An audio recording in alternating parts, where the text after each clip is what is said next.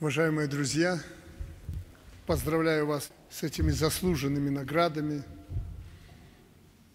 За личное мужество мы редко вручаем ордена. И слава Богу, что редко, потому что это исключительный случай в жизни любого человека, особенно военного. Поэтому я прежде всего благодарю и поздравляю вас. Вы настоящий пример военнослужащего человека, настоящий пример служения нашему Отечеству. Особая благодарность за детишек. Вы должны знать, что дети и старики – это наш вечный приоритет. Если бы не внешние условия, мы давно были бы уже процветающим государством, процветающей страной.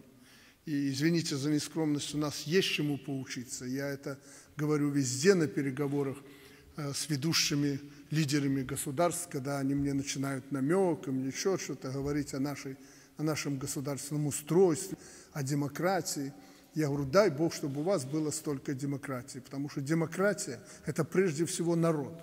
Это государство, которое живет в интересах, э, делает все в интересах народа там, где можно рожать, где можно спокойно ходить с детишками, где можно чувствовать себя защищенным, где можно достучаться до власти. Я не хочу сказать, что мы все сделали в этом направлении, но достучаться до самых высоких э, уровней власти в нашей стране можно. Ну а если еще прежде всего смотреть, что я сделал, а потом власть, то обязательно будешь жить нормально.